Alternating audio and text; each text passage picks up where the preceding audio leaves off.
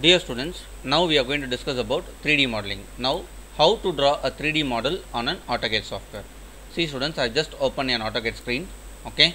So now, for your 3D modeling, there is no need for your title block. Okay. So just listen. So these are the two problems which have been I am going to display for you.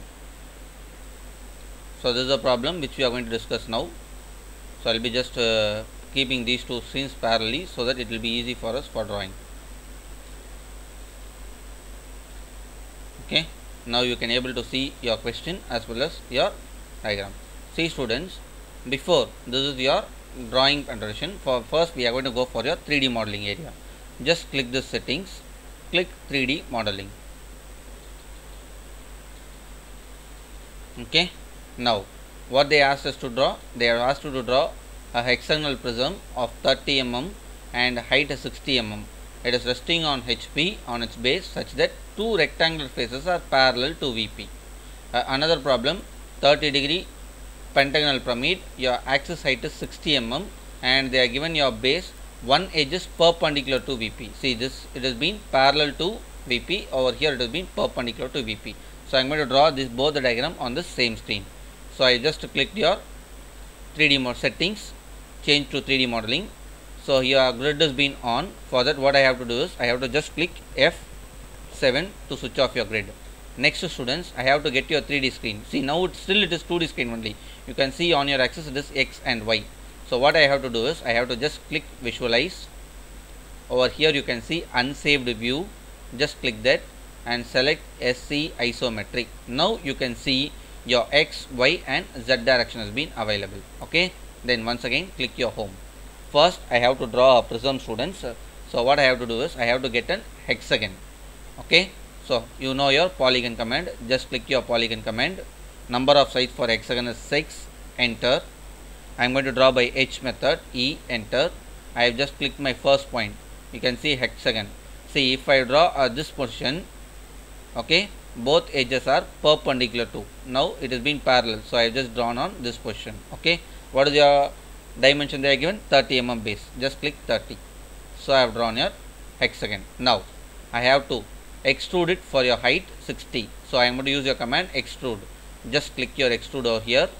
Just select your hexagon enter. Okay?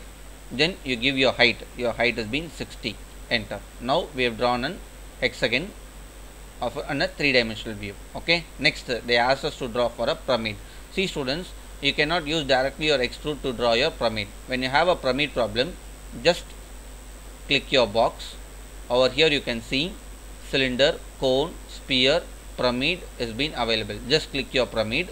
It will be asking center point or edge. Okay, so we are going to first specify your side. So I have to give, give S, enter.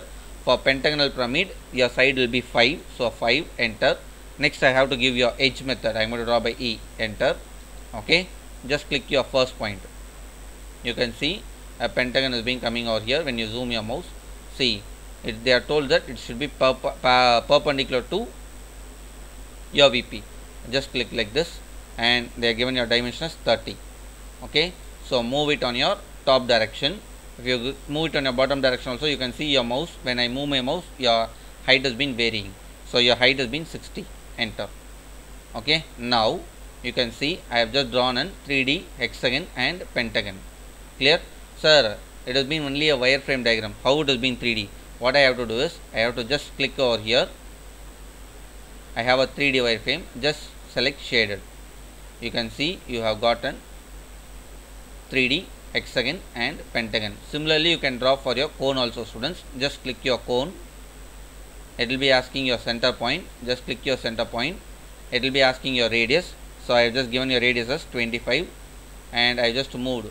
Your height has been I have given a height has been 90 just click that you will be getting your cone. Okay? If you need to draw a cylinder just click your circle click center point give your radius. I have given given a radius as 25 okay? Just click extrude select your circle enter you have to give your extrusion height. I am giving it as 85 so this is how we can draw your prism and pyramid. Students if they ask you to draw a prism draw your base shape and use their extrude command to extrude for your height. If they ask you to draw a pyramid you have to just click it over here. Or this box will be available. Just click it over here. Select your pyramid. You can draw it. Okay? So with this i wind up your lecture for uh, drawing your 3d modeling command. Once again i am remembering you students. Uh, for 3d modeling no need to draw your title block. Thank you all